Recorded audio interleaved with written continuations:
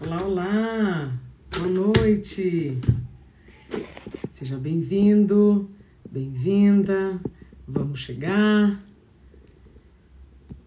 Vamos começar mais uma prosa muito boa e fazendo aqui um trocadilho com a página da nossa querida entrevistada, minha amiga Judimari, que ela é responsável pela prosa coaching. A Ju tem uma baita história para contar para gente sobre mudança de carreira.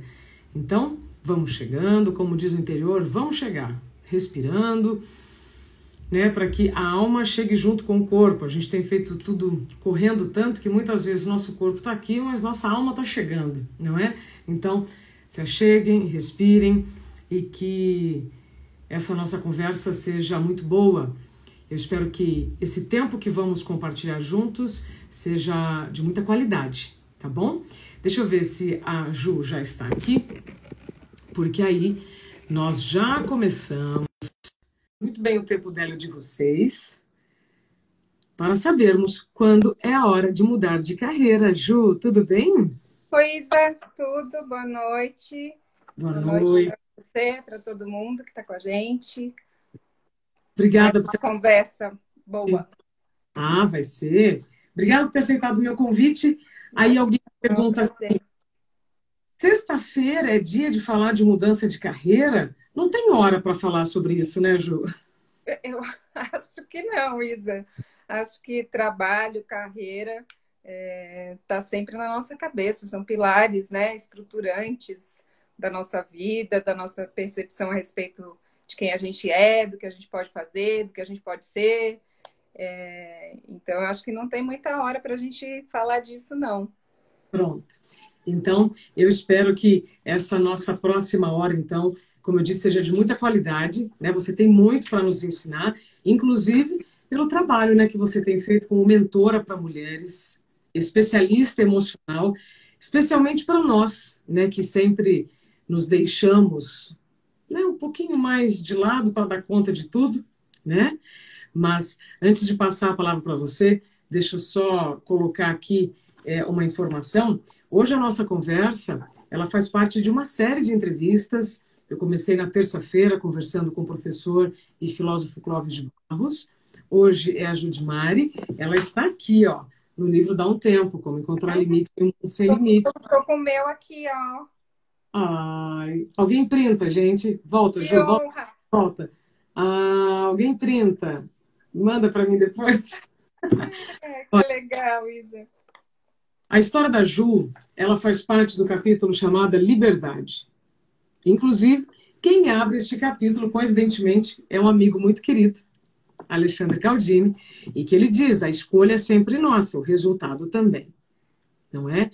E ah. você você compartilha aqui no livro, Ju, uma história que me agrada muito, me emociona muito e eu sei que ela pode inspirar muitas pessoas. Como que você mudou né, de carreira? Você é jornalista, trabalhava numa das maiores editoras do país, cuidava de algumas revistas, uma das mais admiradas também do país, e mesmo estando tudo bem, decidiu mudar. É, eu embatuquei né? Eu conto essa história no seu livro, no depoimento. É, obrigada pela oportunidade. Fiquei super emocionada de ver o livro, pegar o livro. Que legal. A gente falou disso lá no começo, né? Quando você estava é, estruturando. Muito bacana. E eu também estava num momento em que eu estava começando no, na minha nova fase de carreira. Foi, foi muito oportuno. Mas o que aconteceu comigo, Isa, é que assim, eu, eu tive um ciclo como jornalista bastante longo, é, foram mais de 20 anos, né, de uma carreira bem sucedida, muito dinâmica, muito divertida, com muitos aprendizados. É, só que aí chegou num momento que eu embatuquei, né? Que eu uso essa palavra para expressar aquele momento que a gente dá uma trupicada, a gente dá uma tropeçada e paralisa ali no caminho, né? Na trajetória. E aí eu comecei a ficar muito incomodada, comecei a sentir um incômodo muito grande. Eu não sabia dizer exatamente com o que era, se era com a atividade, se era com é, o ambiente, se era com é, o título em que eu estava, as condições que eu tinha, eu não sabia muito bem, mas tinha um incômodo geral nessa embatucação.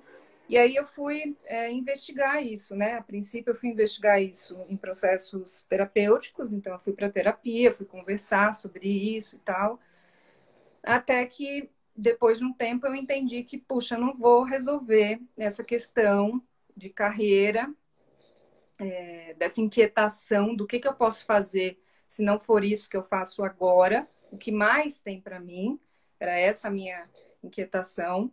É, se eu não começar a fazer alguma coisa prática, se eu não for fazer alguma coisa mesmo.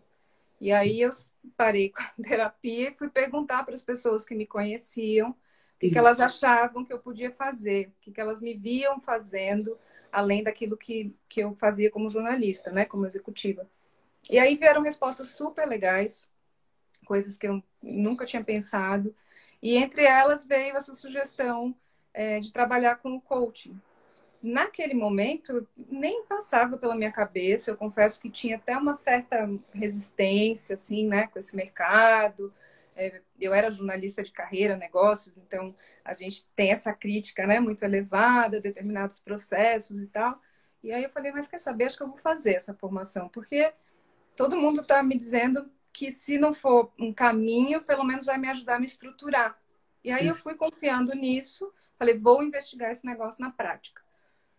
E fui fazendo o ICI e tive uma grata surpresa de que assim, a hora que começou a formação, a hora que eu comecei a entender do que, que se tratava, qual era o resultado prático, como é que fazia, eu falei, putz, é isso.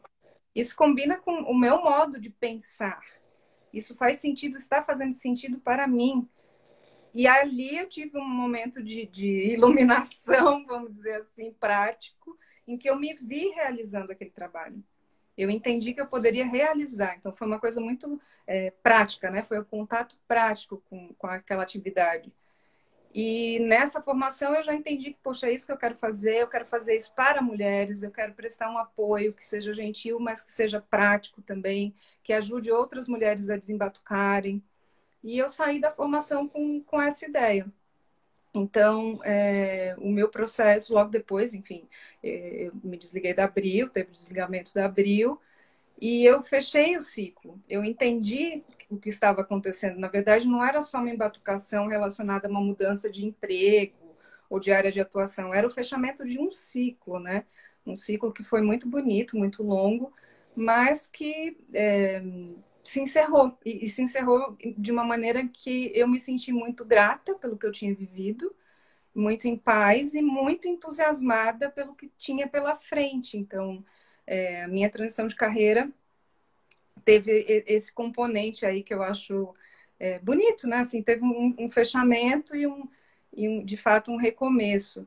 E à medida que eu comecei a trabalhar com coaching e depois com, como mentor e tal, eu fui fazendo relação entre algumas habilidades que eu tinha como jornalista, que eu tinha desenvolvido no meu percurso como jornalista, e o que eu estava fazendo né, na nova atividade. Então, por exemplo, é, eu digo que eu uso muito a minha habilidade de edição, porque as conversas precisam de foco, as conversas precisam de clareza, as conversas precisam. É, eu posso usar esse meu pensamento estratégico. Durante muito tempo eu trabalhei com estratégia para os títulos e tal, e tudo isso eu consigo aplicar hoje nesse micro espaço de uma conversa de coaching ou de uma conversa de mentoria. Eu consegui fazer essas relações com esse meu repertório. E, e isso para mim também foi outro momento assim que eu, nossa, me iluminei. Falei, gente, que sensacional, né? Porque um dos mitos da mudança de carreira, um dos mitos da transição de carreira é que assim a gente vai começar sempre do zero. Você vai uhum. começar do zero. E, e aí muita gente embatuca nisso. Nossa, vou começar do zero, vou ter que aprender tudo de novo. Sim, algumas coisas a gente vai ter que aprender a fazer porque a gente nunca fez. Mas Não. outras coisas a gente pode fazer é, esse tipo de relação, como eu falei agora. Eu editava e aí a minha capacidade de edição eu consigo trazer para o meu novo momento. Então, a gente nunca começa do zero. Quem já tem uma, uma trajetória desenvolvida, né, alguns anos pelo menos, nunca começa do zero. Mesmo quando vai para uma área completamente diferente, mesmo assim você tem experiências, você tem é, conhecimentos que você carrega com você. Então, é, isso é muito legal perceber na prática. Perfeito. Foi essa minha história, é essa minha história. E eu estou muito feliz por ter é, tido coragem de, de assumir o meu momento. É, eu encontro muita satisfação no que eu estou fazendo agora. E eu realmente vejo uma trajetória que se desdobra para frente. Né? Ela, ela, começa, o ponto de partida foi a formação SI, e eu acho que isso vai se desdobrar ainda de formas que eu nem sei quais são. Então, isso também me anima. Claro. Ju, muitas pessoas aqui queridas que já entraram, inclusive Alexandre Caldini. Ah, nosso... que delícia! Que delícia! Pouco, né? Porque você já deve ter visto no seu livro, você abre o capítulo Liberdade, tá aqui. Coisa linda, né, gente?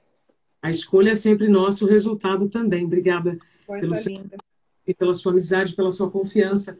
Ju, é, no livro, evidente que você conta essa história com alguns detalhes, mas agora você trouxe outras informações e como é rica né, essa oportunidade da gente conversar aqui pelo Instagram.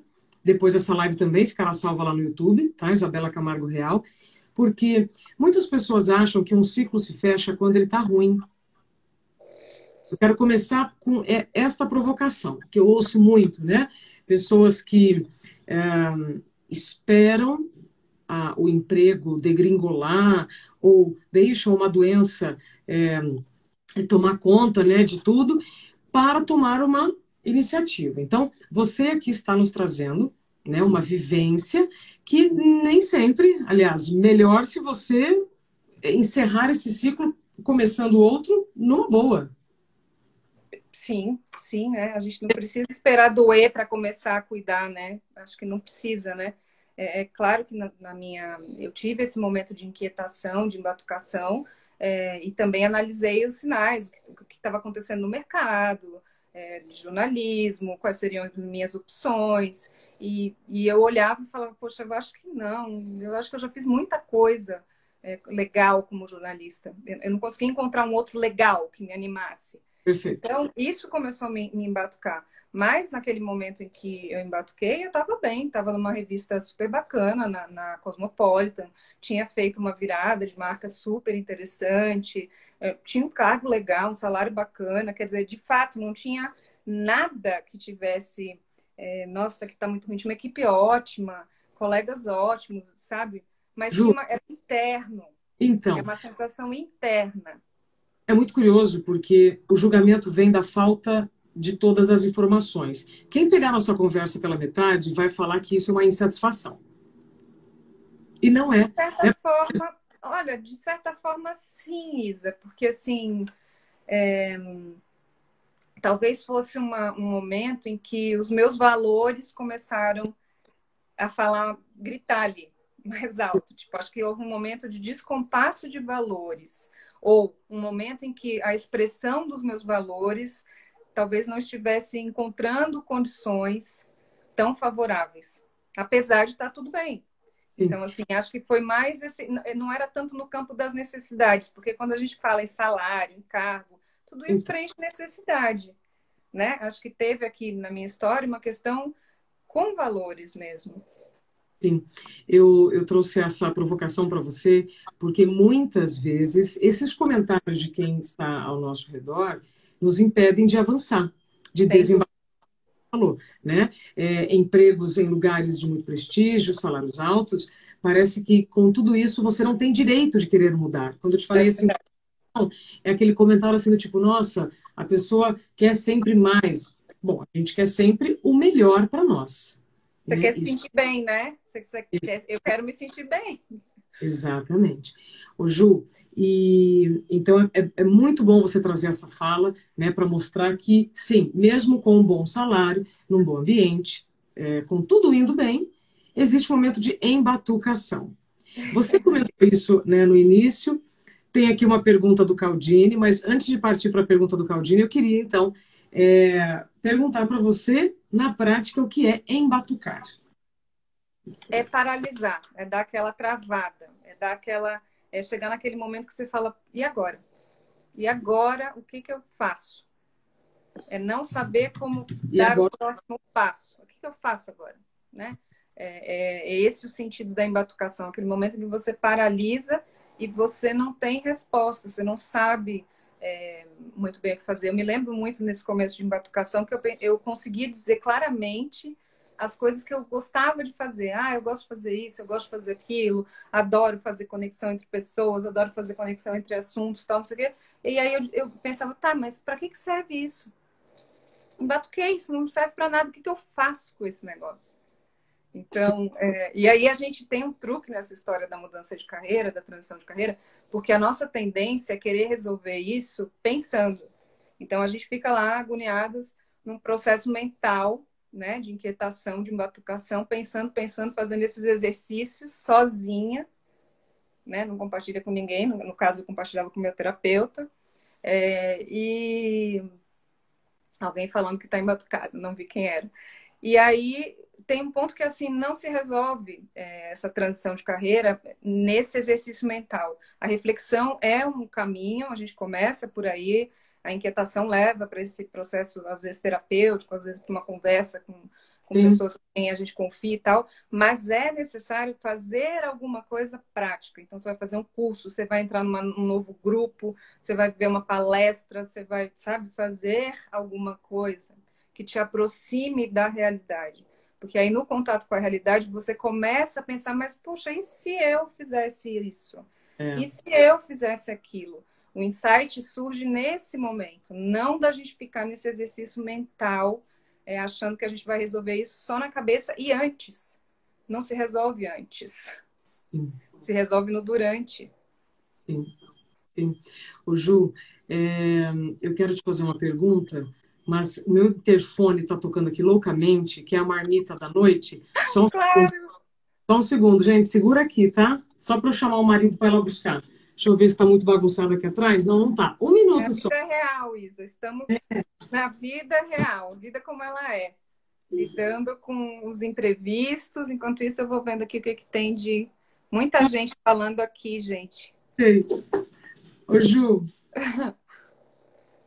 É... Muitos comentários legais, muitas pessoas falando que estão embatucadas, que é preciso coragem para desembatucar. É preciso coragem para desembatucar. Ju, eu achei muito curioso quando você falou que é, você não sabia o que estava sentindo. Você sabia que tinha uma coisa errada, mas não sabia o que estava sentindo. Não. Eu, a gente sempre quer dar nome para todos os sentimentos, claro que isso é importante, é, mas no tempo certo. Né? Não adianta a gente querer, como você falou, resolver antes durante. E é interessante que você falou, não é uma coisa ou outra, é uma coisa e outra, porque se você só tivesse validado suas características com as pessoas de confiança, eu achei isso inclusive fantástico, tá? Coloquei na minha vida é, com frequência. É, essa, esse é um passo. Mas aí depois você buscar uma habilidade. Sim, sim, sim. Então é uma coisa e outra. E outra coisa. E, e, frequentemente eu vejo que nós esperamos muito dos nossos amigos respostas que eles também não conseguem dar. Né? Não, até porque assim os nossos amigos, mesmo essa rede mais é, próxima, como você falou, e a família e as pessoas que no, nos conhecem há mais tempo é, é, na, no pessoal ou nessa atuação profissional desempenhando aquele papel, elas nos veem naquele papel. Então, assim, vem essas falas que você estava falando, nossa, mas como? Você vai trocar tudo. Mas, gente, você, você já tem 20 anos de carreira, você estudou tanto, tem muita essa coisa também ligada ao quanto a gente colocou de investimento na formação.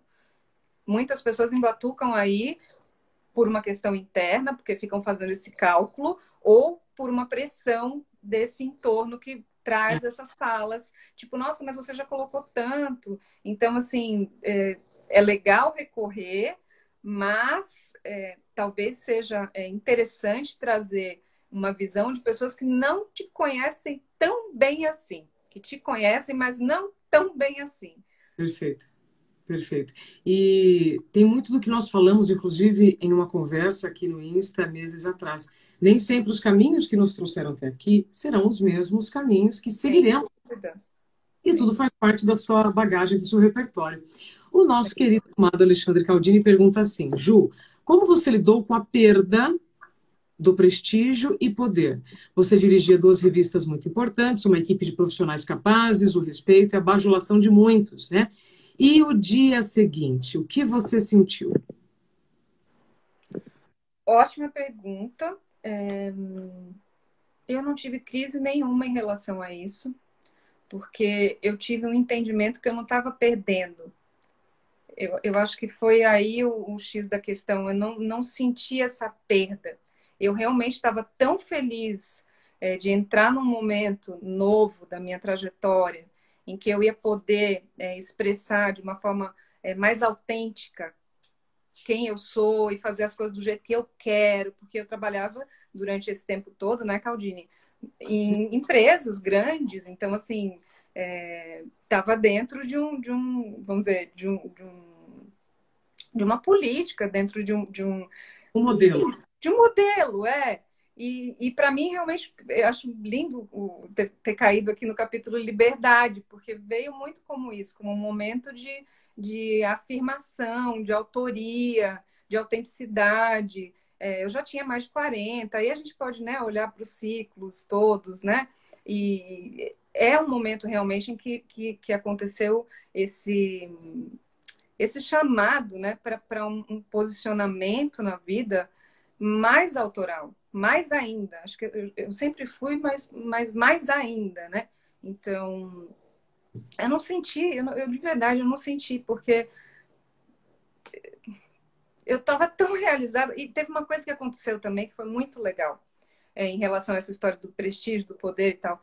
É, a, a rede quando eu comuniquei é, que eu ia, que eu fiz esse movimento, ó, fechei o ciclo como jornalista, estou inaugurando o ciclo como coach, é isso, vou trabalhar com mulheres e tal. A rede, né, a minha rede de, de contatos e tal, reagiu muito bem. Então, eu me senti muito abraçada.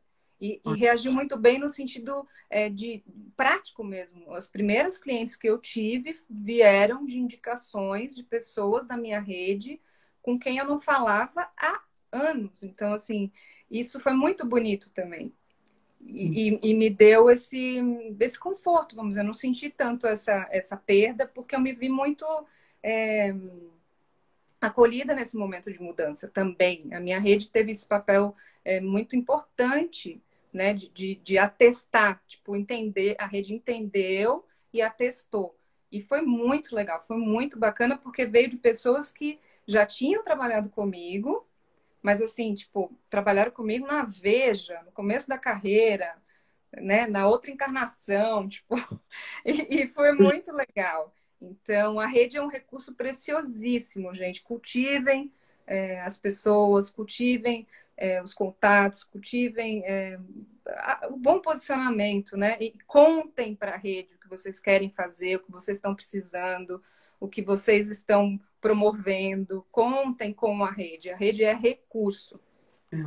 Inclusive, o Caldini é, tem um Caldini, livro. queridíssimo, né? mestre nisso. Networking versus Notworking, né? É, recentemente nós tivemos também numa entrevista e ele sempre valida essa mensagem que eu acho que compartilha ela todos os dias com alguém, né? O networking você vive, o networking da hora que você acorda, Sem dúvida. rede de confiança mesmo, né, de trocas mútuas. De e... conexão, né, Isa? É. Eu ve... Quando você fala que você não se sentiu mal após essa perda de prestígio e poder, por trabalhar onde trabalhava, por lidar com quem você lidava, é, você conta aqui no livro que também teve muito planejamento. Né? Você, como você disse, não deixou a peteca cair para pensar, nossa, e agora? Tem uma não. outra relacionada a isso, é, antes, tá? que são os sinais. O que, que você foi percebendo fora e o que, que é, mesmo não sabendo dar nomes para essa embatucação, quais eram os sinais. Mas antes, a Van Caseiro diz que vai procurar para uh, ah, ajudá-la a sair dessa embatucação. Ah, seja bem-vinda, venha.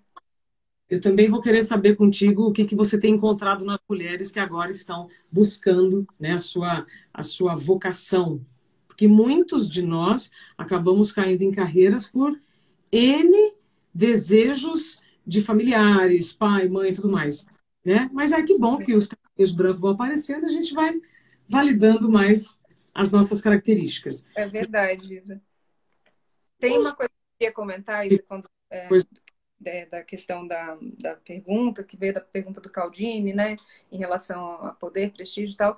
É, hum. isso eu não senti, não, mas eu senti é, em relação à rotina. Eu até isso. comento no livro, porque eu estava acostumada a uma rotina muito acelerada, em que eu fazia muitas coisas ao mesmo tempo, é, durante muitas horas, com muitas pessoas, é, tinha muito movimento. E, e, eu sou uma pessoa rápida, então, assim, eu gostava, eu achava muito legal aquele dinamismo, né? Era normal. É, é para mim era normal. E aí, quando eu vim para esse novo momento, eu estranhei muito, justamente aquilo que eu, eu é, me animava, que era essa liberdade, essa autonomia de horários, de fazer do meu jeito e tal. Eu, eu, eu tive uma leve embatucação com esse ritmo porque eu estava começando numa carreira nova, eu estava começando a mexer com Instagram, a entender o que eu tinha que fazer, a escrever conteúdo, a, a, criar o estilo das minhas fotos, ao mesmo tempo começar a atender as pessoas, entender o que era o meu atendimento, o que, que era essa oferta na prática e tal. E eu achava que eu não estava fazendo nada. E eu dizia, gente, meu Deus do céu, não estou fazendo nada. Que coisa mais estranha que estranho. Eu falava com meu marido, não, passou o dia inteiro, eu não fiz nada. E ele me dizia, como tu não fez nada? Tu tá mudando completamente para outra área, como tu não fez nada? Mas o meu senso de produtividade, ele estava muito ligado a essa aceleração também. Sim. Então, foi uma conquista é, e foi um entendimento também, perceber que eu posso ser muito produtiva num ritmo um pouco mais calmo, que me agrada muito também, e eu nem sabia, eu nem sabia, entendeu? Então, são coisas que eu fui descobrindo também é, nessa, nessa lida com a realidade. Eu fui descobrindo que, puxa, eu não preciso ser sempre 100% acelerado, eu sei ser, mas eu não preciso ser. Perfeito. Isso foi muito interessante estar tá lá no, no livro. É. Muito, muito bom ouvir você falar isso, Ju, porque é, como eu trago né, todas essas reflexões no livro, eu também trago uma, um ponto de vista muito real, que não é também de um dia para o outro que você faz essa mudança. Não é de um dia para o outro que você passa a se colocar na agenda com cuidado. Hoje até eu vi episódio de novo com o Caldini, porque quando eu fui, pera lá que tem agora uma gatinha aqui, ó, tá todo mundo aqui. Ai, Deus! Michele, quando? Quando eu fui colocar seu, a sua publicação, eu errei no horário. E aí ele, né, ele falou assim, Isa, ó, o horário é tal. Eu falei, poxa, obrigada. Na pressa, eu escrevi errado. Né? E aí eu, eu mesma falei assim, poxa, eu estou falando de pressa e fiz uma coisa com pressa. Sim, justamente porque precisamos de vigilância constante. Total eu tenho é, procurado deixar buracos na agenda, tem momentos que eu estou reaprendendo a não fazer nada. Mesmo assim, eu não posso também me culpar, é, que é isso que eu gostaria de te perguntar, né, sobre essa culpa, quanto tempo durou nessa né, caída de ficha em que posso ser produtiva sem manter aquela agenda maluca? Sim. Sim. Porque eu estou a cada dia, a cada dia sentindo mais no meu corpo os benefícios Sem de fazer coisas, mas também reconhecendo que tem dias, por exemplo, essa semana, né, com o lançamento do livro, cada oportunidade incrível que vocês entrevistados estão me dando, né, os, as, os canais de comunicação estão me dando, então, de fato, essa semana a agenda está apertada. Mas aí o que eu Próximos dias, desacelera. A gente vai aprendendo, né, a fazer esse, esse, esse jogo, né, Isa? É, e, esse sentimento, essa sensação que eu tive durou alguns meses, durou um tempo, é, até eu, eu parar de me criticar. Porque no começo eu, eu estava me chicoteando, tipo assim, eu não, eu, eu, tinha a sensação que eu não estava fazendo grandes coisas, sendo que eu estava botando o negócio para rodar, tipo, eu não tinha essa sensação, realmente não tinha. Então eu fiquei, eu ainda estava me comparando muito com é, o ritmo anterior. Então teve esse momento aí de ajuste é, hoje eu estou bem adaptada, tipo, gosto muito que essa minha mudança de carreira trouxe também uma mudança de estilo de vida, trouxe Sim. essa perspectiva de, de aceitar que, ok, eu sou super rápida, eu gosto de fazer várias coisas ao mesmo tempo, eu gosto de ter vários estímulos, eu sou uma pessoa entusiasmada, eu gosto de fazer mais de uma coisa ao mesmo tempo, tal, mas eu também gosto de parar para não fazer nada, parar para apreciar, parar para olhar minhas flores, parar para brincar com meu cachorro, tomar um cafezinho com meu marido, falar com meus filhos, eu também gosto. E este lado eu não tinha na, na na fase anterior, né? Eu não tive disso na fase anterior. Então, de verdade, é um aprendizado, é um reconhecimento. Tipo, nossa, pode, posso conciliar, que legal, que bom. E aí, essa observação que, que eu faço muito, que é como é que eu estou me sentindo com isso, né? E aí eu comecei a perceber que a calma é, é um valor importante para mim também, justamente porque eu sou uma pessoa acelerada mentalmente. Então, é, estar num ambiente calmo, numa perspectiva calma, me agrada muito. É, agora, eu, não, eu, não, eu, eu faço várias coisas ao mesmo tempo, eu continuo fazendo, eu preciso ter vários estímulos. É. Eu também não mudei assim, nossa, então agora você faz uma coisa só e depois. Não, não, não é isso.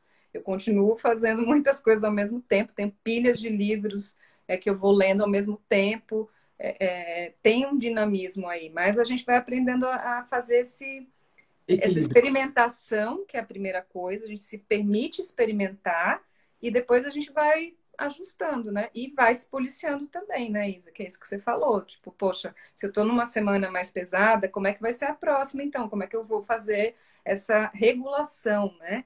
Para cuidar desse emocional, para cuidar do físico, para cuidar do mental para não ficar é, só nesse uso de energia mental que é muito fácil para gente, mas que assim desgasta muito também, né? Vai, vai muita energia nisso. Então tem que ter aí uma, um, uma regulação, né? Exatamente, Ju. Muitas perguntas aqui fabulosas. Eu aqui anotei várias. É, como já passou meia hora do nosso tempo, deixa eu só então é, fazer dois pedidos. Envie coraçõezinhos aqui na lateral, porque assim o Instagram entende que esse assunto é relevante e pode ajudar mais pessoas. E se tiver alguma pergunta, pode ser que passe. Coloque aqui na caixinha, tá? E mais um pedido: se, a, se você sentir que esse papo está fazendo sentido para você, envie aqui na setinha para algum amigo para quem você quer bem, né? E que de repente está nesse momento de, de transição, ou nem sabe. Batucado. Momento. É, Ju, é, eu percebo que esta nossa falta de compreensão dos ciclos é o que gera muita frustração. Porque há poucos anos só que isso tem mudado, né? Em que somos estimulados a empreender, somos estimulados a caminhar com as próprias pernas. Então, eu entendo também a insegurança. Muitas pessoas escreveram aqui: mudar dá medo. Dá medo mesmo. Ninguém nos, nos estimula a fazer isso. Eu quero perguntar é, a respeito disso, né, dos medos que envolvem a mudança pelas mulheres que você faz a mentoria, e já trazer aqui a pergunta da Ive, dentista. A gente deve seguir a intuição? Então, até que ponto a intuição ajuda neste processo de transição? Eu acho que a gente sabe quando a gente está embatucada e a gente sabe quando a gente está se sentindo incomodado em alguma situação.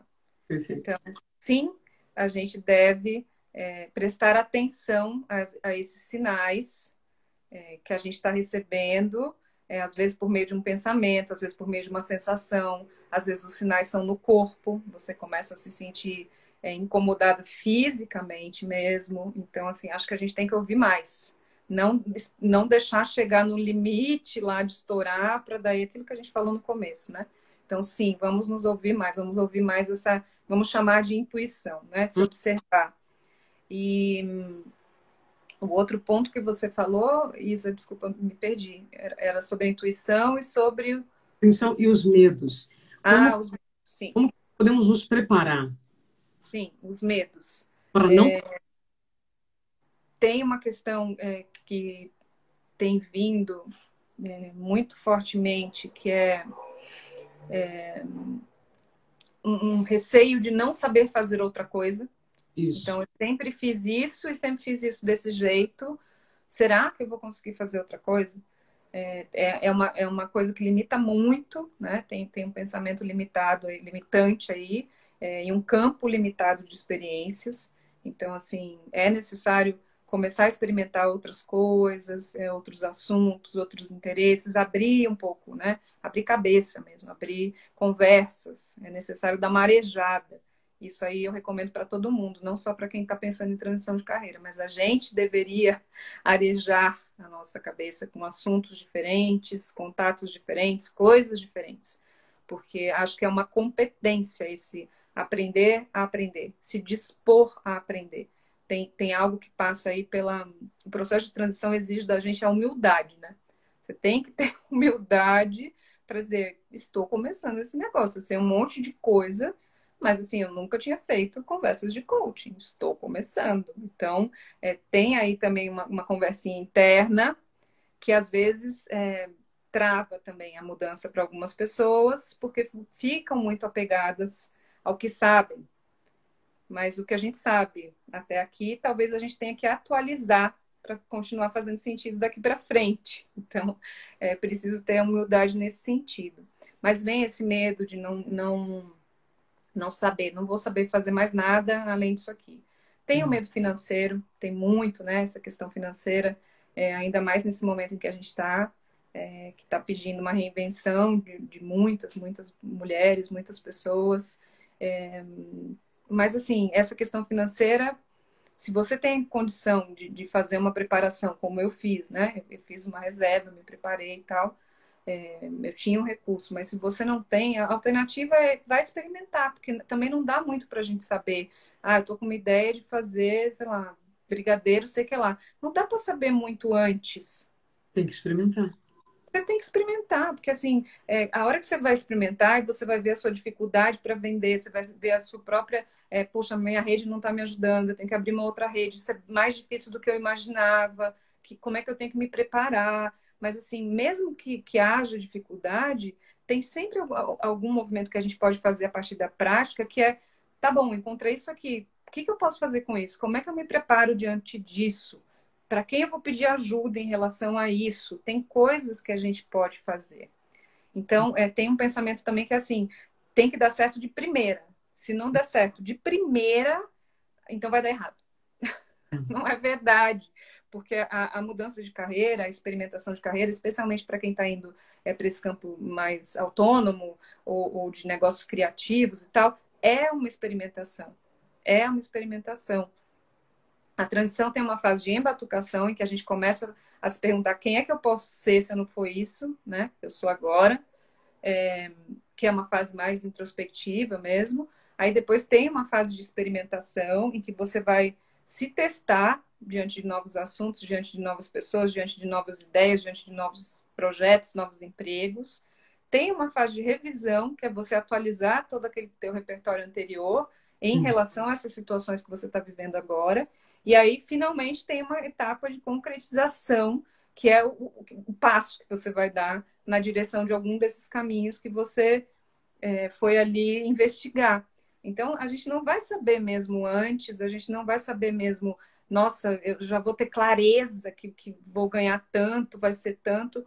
Gente, desculpa, não vai dar. Especialmente nesse momento é, de mundo que está tão instável, que tem tanta coisa mudando, é, que tem tanta coisa nova no mercado de trabalho e ao mesmo tempo tanta, tanta coisa que está se extinguindo, está se extinguindo, mas tem um monte de coisa nova surgindo. Então a gente também não sabe muito bem o que está surgindo. Se a gente não tiver essa disposição para, peraí, deixa eu dar uma olhada nisso aqui, de, é. deixa eu ver o que é isso aqui. Se a gente estiver muito fixo nesse pensamento é, de eu tenho que saber tudo antes, a transição fica complicada. E aí os medos vão, vão aumentando, vão aumentando. Tem um medo clássico que é assim, eu já tô velha, né? Tô Isso. velha pra fazer. Esse, esse é muito assim. Eu vejo mulheres aos 40 anos dizendo que estão velhas. Gente, pelo amor de Deus. Uh -uh. Justamente o que a Pritis Caro escreve: Você acha que tem alguma idade que a embatucação fica mais clara, aparente? Você percebe nos seus atendimentos que tem uma idade média, assim, que as mulheres, né? Focando então aqui, é, especialmente no, no, no, público que você atende, tem alguma idade que isso costuma acontecer mais? Ali perto dos 40. É uma idade recorrente, assim, perto dos 40, daí vem esse esse chamado aí, esse, essa, essa embatucação, esse incômodo que às vezes é meio difuso, não sei direito, é, não, não costumo atender é, mulheres assim, na faixa dos 20, 20 e poucos, é mais raro. É mais ali 35, 40 e mais, 50. É, tem, tem, fica aí. Fica aí. Você acha que nos homens essa, essa idade muda? Eu não sei dizer, Isa, porque eu não converso tanto com os homens, mas eu, eu acho que é uma, é uma idade que pega para todo mundo aí, depois uhum. dos 40. A gente, a gente faz um, um balanço, né? Tipo, é, já foi metade, embora a gente vá viver muito, né? Já vai viver lá até os 100, mas já foi metade, né? Classicamente. É. E eu acho que todo mundo faz um balanço, mas é, a, a, mulher é, tem outras questões né, relacionadas à, à, à maternidade, é, às vezes as coisas que teve que abrir mão em função de uma carreira é, profissional mais tradicional, e aí vem esse incômodo que, puxa, eu, não, eu fui para isso, mas aí eu deixei de lado a minha vida pessoal. Então, é, eu acho que a mulher, ela, ela faz, é, talvez por esses fatores todos, esses papéis todos, a gente faz mais essa, essa, essa reflexão. E a gente tende a, fazer movimentos menos tradicionais também. Acho que as mulheres estão sendo muito corajosas nessa reinvenção de carreiras, assim, estão se permitindo é, uma exploração mais corajosa, algumas, enfim, né, por, por vontade, ou muitas por necessidade, Sim. mas eu percebo que assim tem uma, uma coisa latente das mulheres essa essa inquietação aí nessa faixa etária dos 40 anos. Até porque acho que tem é, caído uma ficha e que eu também tento dizer quase diariamente que os 20 anos os últimos 20 anos foram de um jeito. Como quero os próximos 20 anos é isso é. Ignorar né, uma possível mudança para os próximos 20 só porque eu vivi 20 de um jeitinho? Não. Né? Exatamente dá para experimentar, como você falou. Bem, a Ive, dentista, ela diz que aos 50 anos vira uma chavinha. O Marcelo diz que ser coaching deve ser muito bom, porque não deve faltar cliente na situação atual. Quero então emendar aqui e te perguntar se neste período agora de, de muitas mudanças, mais mulheres te procuraram. Mas antes, como eu já vi aqui a mensagem da Som Garato, estando infeliz na profissão atual. Então, né, aquele caso que o ciclo vai se encerrar já de uma maneira né, é, mais delicada. Como definir a próxima carreira? Começa a prestar atenção nos seus interesses, quais são as coisas que chamam a sua atenção naturalmente, quais são as coisas que você faz naturalmente, porque tudo isso pode te dar pista em relação a alguma atividade nova. É, não pensa tanto em relação à profissão ou à carreira, é, assim, nessa saída. Vamos, vamos simplificar isso e trazer para uma atividade. Que atividades poderiam ser interessantes a partir dos seus interesses, a partir daquelas coisas que você gosta de fazer, a partir das coisas que você faz mais naturalmente. Comece a explorar isso, que, que é um bom ponto de partida. Perfeito. Ju, você percebeu alguma mudança nos últimos meses? Mais mulheres procuraram ou igual? Mais. teve um aumento é, de mulheres chegando com, com essa num limite, tipo, agora deu, a pandemia deu, foi a gota d'água para eu realmente encarar a minha embatucação, meu incômodo, muitas mulheres trazendo essa fala, Isa, por causa da pandemia, por causa da quarentena. Ou seja, o que já estava incomodando ficou evidente. E isso para muitas áreas, né? Mas para a questão é, do trabalho, da, da, carreira, ficou bastante evidente. Uhum. A Lilith está dizendo, depois dessa live vão procurar mais. Que assim seja, Lilith, porque é, de uma certa maneira nós estamos ah, falando. Claro. claro. É, prosa underline coaching. Ju, boto minha mão no fogo pela Ju, a conheço há muito tempo. E é interessante, né? Obrigada, nós, como jornalistas, a gente ama fazer pergunta. Sim. Né? Vou compartilhar rapidamente aqui uma história, como uh, algumas, alguns conceitos são, são, são, são meio conturbados. eu estava vivendo uma, uma situação e aí a pessoa falou sobre uma guerra. E eu perguntei, nossa, que guerra é essa? Eu nunca ouvi falar. Nossa, mas você é jornalista, você é obrigada a saber? Eu falei, uh -uh. eu sou obrigada a perguntar. Porque como eu posso dizer, ou como alguém pode dizer que sabe tudo? A gente não sabe nada, né? Sabe um pouquinho de cada coisa para aquilo que está mais aqui né, no nosso radar. Quando é, temos interesse por outras áreas, mas assim, nossa obrigação é perguntar. E a gente sabe que uma pergunta muda tudo. Então, essa sua habilidade das perguntas na, da carreira, né, como jornalista é, de carreira, é, ela funciona hoje muito, né? Porque é com uma pergunta que uma mulher ou que um homem que está em transição de carreira consegue abrir um universo que estava lá apagado, não? Sim, totalmente. E é com essa curiosidade, né? A pergunta ela vem de uma curiosidade, ela vem ali para para trazer à tona alguma coisa, para revelar alguma coisa. É... Hoje eu tive um depoimento de uma, de uma mulher que, que fez uma conversa comigo lá no meu começo mesmo de trajetória. E ela fala exatamente, ela, dá, ela faz esse texto. Ela falou: fiz uma conversa com a Judemar e ela me fez tal pergunta. Uau! Eu não, enfim, não vou me lembrar agora, mas ela coloca lá a pergunta, ela descreve a pergunta. E ela falou: esta pergunta me permitiu fazer uma, enfim, pensamento assim assado, tomar tal atitude. Aí ela conseguiu é, conciliar é, um trabalho como jornalista e pesquisadora na área de artes. Ela, ela, fez uma pesquisa na área do artesanato brasileiro e estava contando que estava é, finalizando essa pesquisa e tal.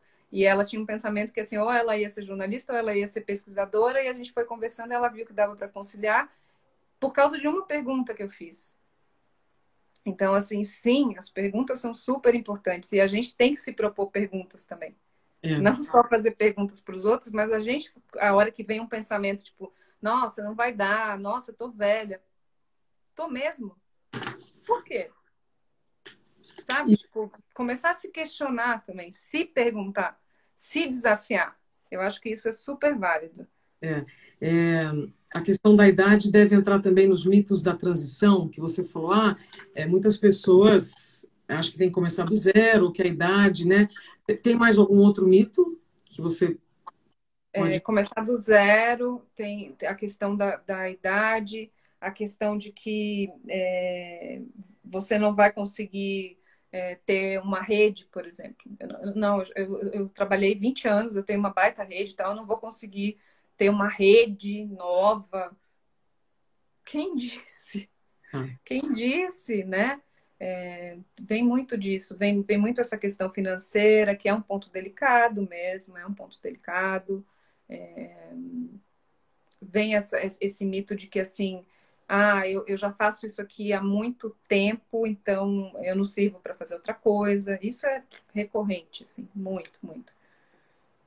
Ju, como faltam só nove minutos para a gente acabar, é, já partindo para uma conclusão, eu sei que uma parte da viagem a gente faz sozinha e a outra parte a gente faz acompanhada.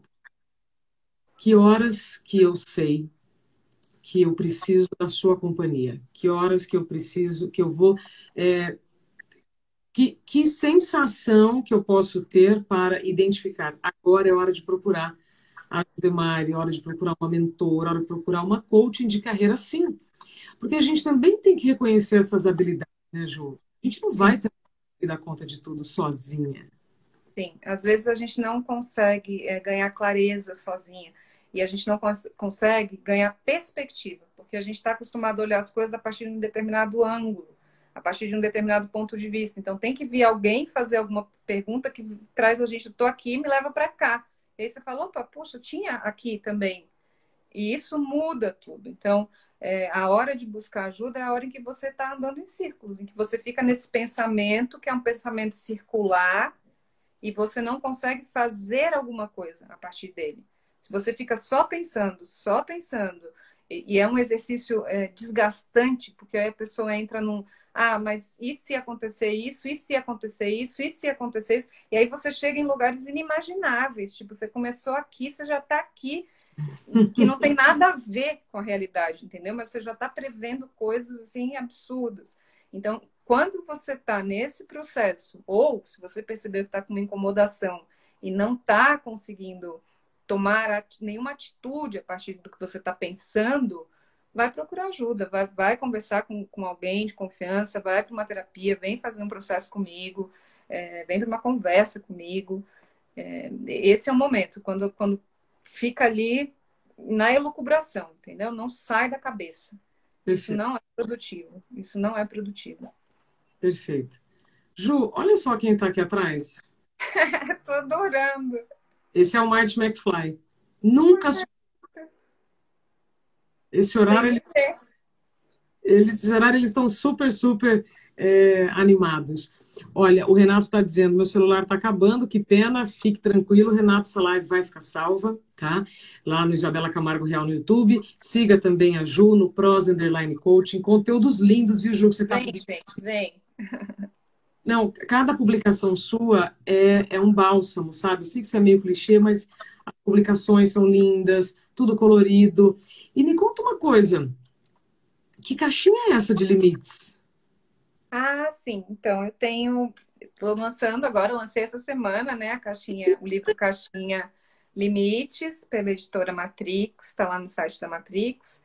É uma caixinha que tem 100 questões para instigar reflexão é, a respeito é, de como dizer sim, de como dizer não, de uma forma mais clara e mais assertiva. Então, é um campo que eu estudo e eu transformei isso em 100 perguntas. Que aí, eu acho legal porque a pessoa pode tirar uma é, por semana, ficar com aquela pergunta na cabeça, ou pode virar um jogo entre é, conhecidos, pode ser usado, enfim, num treinamento, pode ser usado de diversas formas. Pessoalmente, eu, eu acho um, um instrumento lúdico, porque propõe para a gente justamente uma pergunta que a gente vai ficar ali é, ah, matutando para chegar na nossa resposta. Eu vou, vou atrás da minha caixinha de limites. Caixinha Antes... de limites, eu tenho uma caixinha também de coaching de carreira, hum. uma sobre coragem e uma que você vai gostar muito, que é de escrita criativa. Então, ah. vejam lá no site da Matrix. Adorei. Muitas pessoas agradecendo que essa conversa caiu do céu.